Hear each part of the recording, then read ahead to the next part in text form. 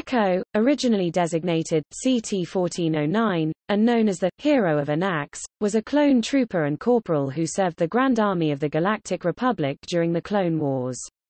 Born on Kamino, Echo was originally identified as Court 210408, a cadet of the Domino Squad along with his friends, CT-782, Heavy, CT-4040, Cut Up, CT-00, 2010, Droid Bait, and CT 5555, Fives, before he graduated from the Clone Training Center.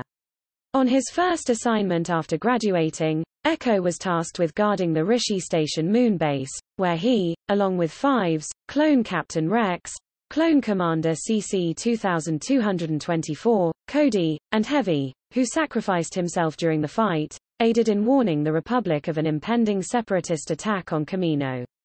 Echo was commended for his bravery and absorbed into the 501st Legion. After the attack on the Rishi Moon, Echo defended his homeworld from separatist forces as they attacked Tipoca City, where they sought to destroy the Republic's cloning facilities. Once Republic forces successfully repelled the attack, Echo and Fives were both promoted to the elite rank of ARC Trooper. Echo was later tasked with a mission to Lola Sayu, where he joined a group of Jedi and experienced clone troopers to retrieve coordinates to the Nexus route from the Jedi Master Even Piell, who had been imprisoned on Lola Sayu's citadel led by Commandant Osi Sobeck. After Piell and his surviving men were rescued, the group headed for the landing field to escape on a shuttle. However, when Echo noticed a commando droid target their shuttle with a laser turret, he advanced to secure their ship, ultimately being blown up with the ship in a massive explosion that led his comrades to believe he was killed. Despite the loss of Echo and Piell's death later during the mission, it was ultimately a success.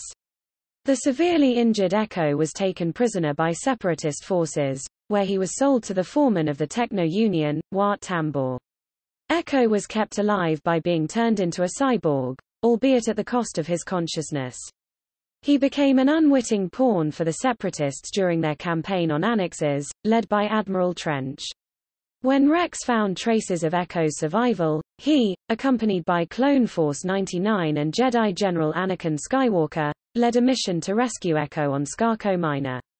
They succeeded, and, in turn, Echo used his cybernetic capabilities to turn the tide against the separatists on Anaxes, leading to the Republic's victory.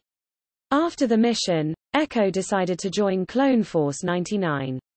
When Order 66 was activated, Echo was unaffected and witnessed to his dismay the execution of the Jedi Depa Billaba by her own clone troopers on Kaala. Following this event, Echo saw the Republic becoming the Galactic Empire, which he was quickly disgusted with and ultimately deserted it after refusing to execute innocent civilians refusing to submit to the Empire.